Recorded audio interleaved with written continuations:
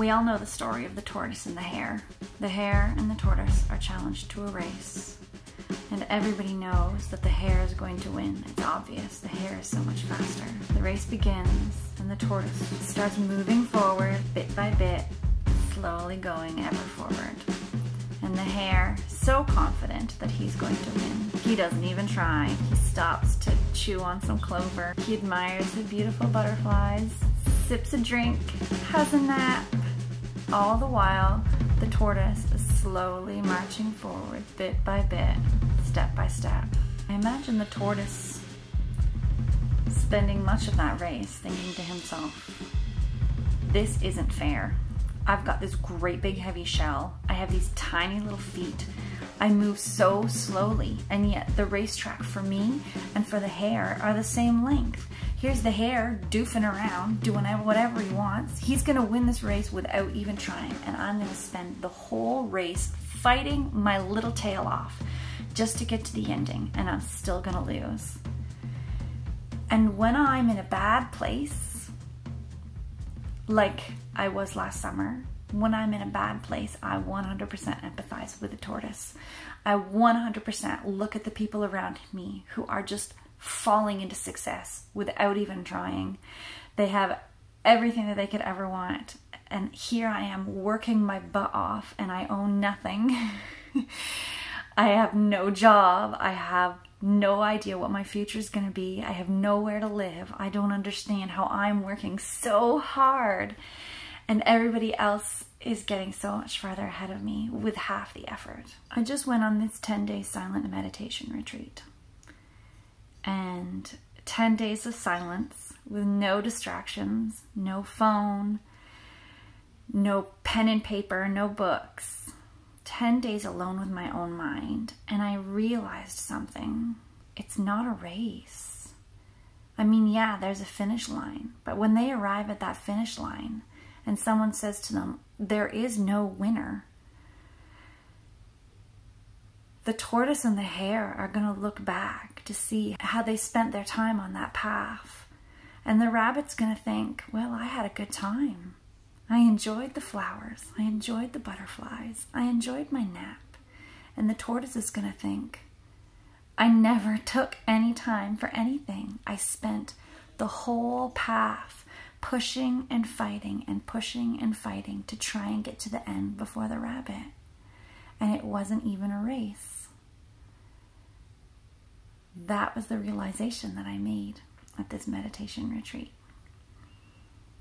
That and many more. I made a lot of realizations.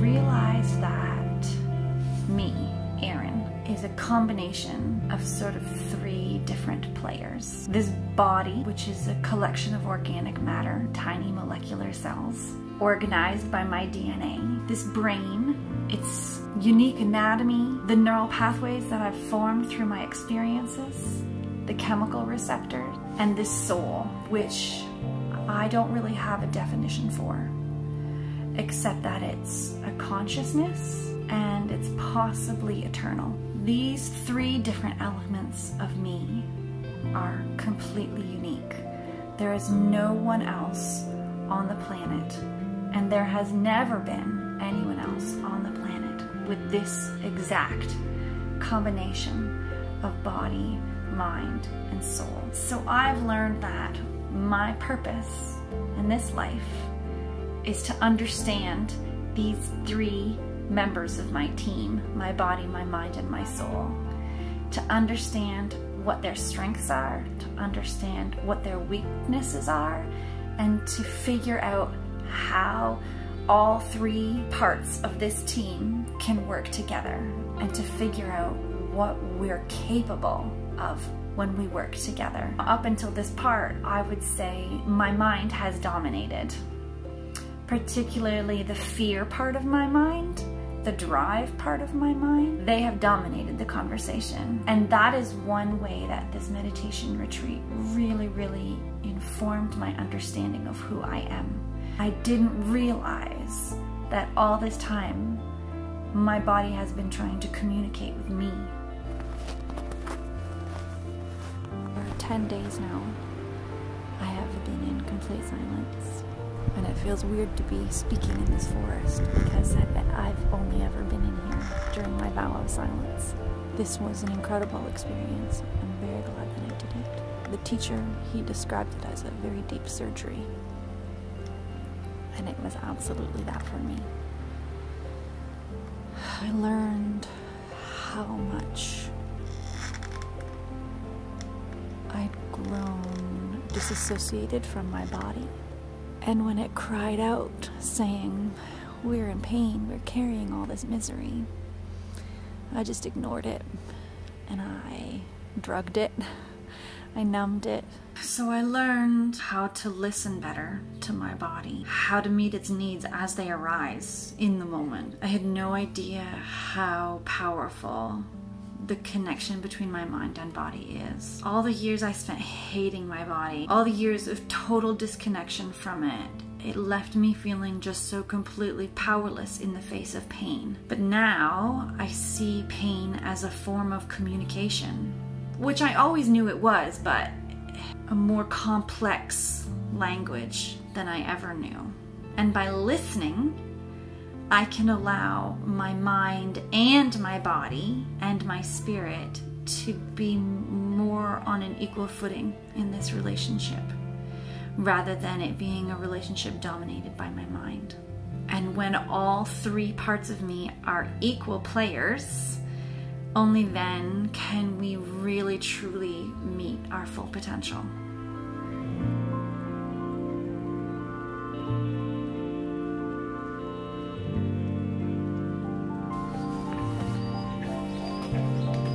Other purpose in life is to experience this opportunity to undergo the human experience is so rare and extraordinary. There is no right or wrong way to experience life. There's no right or wrong. There's no winning or losing. There's just experience. And if I measure a successful life by that, then I'm doing exactly what I'm supposed to. I have had an extraordinary life. I have had so many incredible experiences. Yeah, absolutely. I might have no money for retirement. I might have to move in with my children.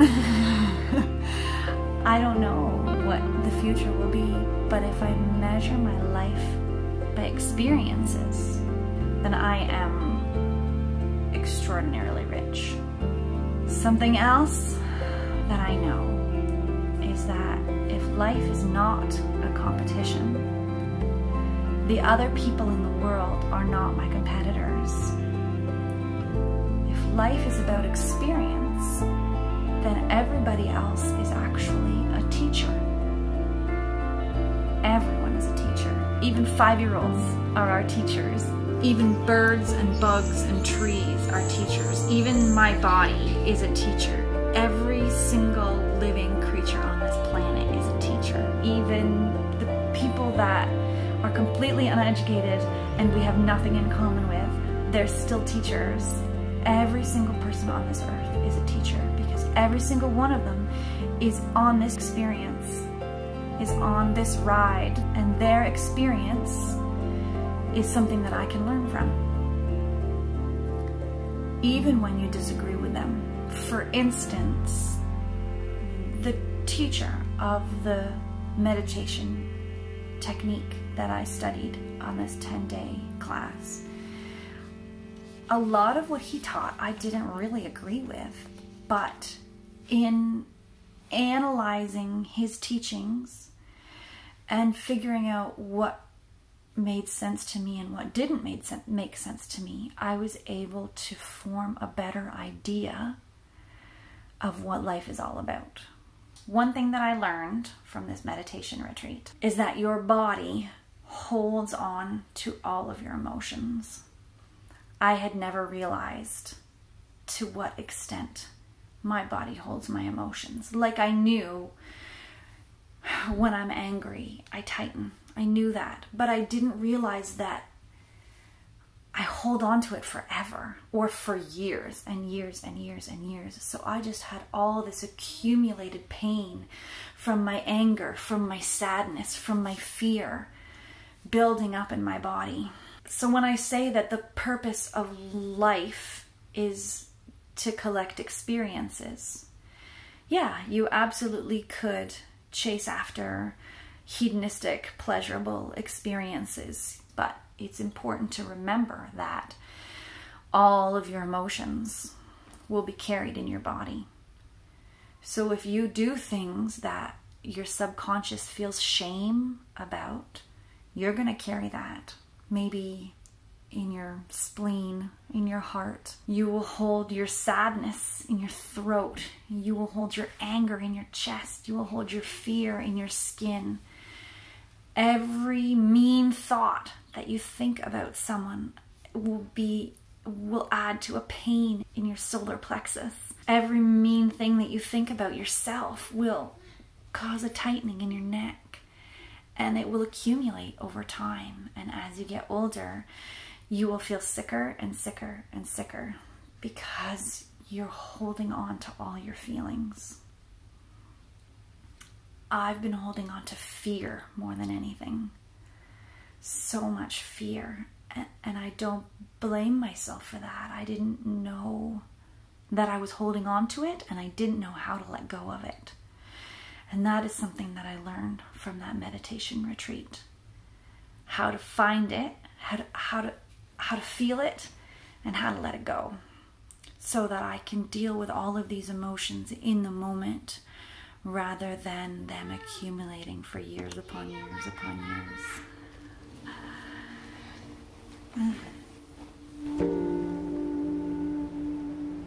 And when it cried out, saying, We're in pain, we're carrying all this misery, I just ignored it and I drugged it, I numbed it, you know. And I forgive myself for that. I didn't know I didn't know that you could store all your misery in your body like that. But now I know. Which is a wonderful thing. And now I know how to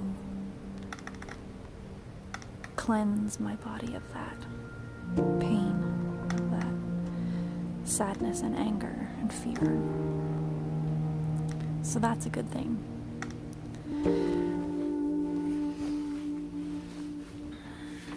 I've also been learning a lot about First Nations beliefs, belief systems, in particular the Anishinaabe traditions, because they're from here where I live. And from them, I have learned one of the most valuable lessons I think I will ever learn in my entire life, and that is that all life on earth is connected. If you think about a forest, the trees reach out to each other, they embrace each other, they share nutrients with each other, they support each other. Their roots reach out in the soil and connect to fungi that spread through the entire forest, connecting all of the plants to each other. So when one plant is healthier, it helps the less healthy plants.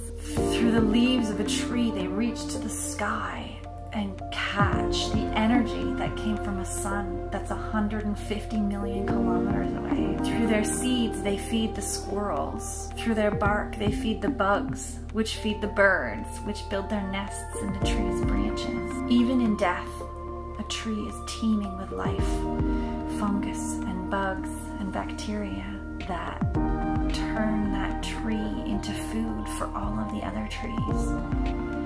The connectedness of the forest is symbolic of the connectedness of everything. And humans have cleared all the forests and built these big cities where we all live isolated in our houses, distracted by our devices. We've all lost the understanding of the connectedness of all living things.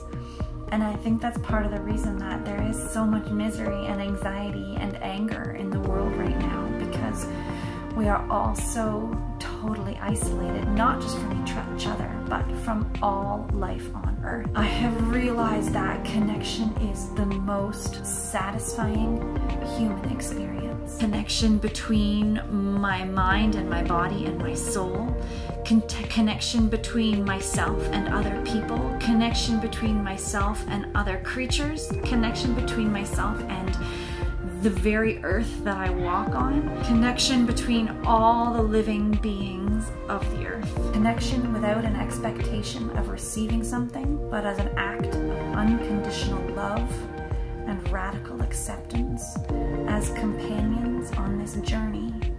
That is the ultimate source of comfort and belonging and joy. That is inner peace. I know that I am not the first person to realize this by any means whatsoever. But I think that until you experience this connectedness, they're just empty words that don't really mean anything. Even having experienced it myself, I still doubt my experience.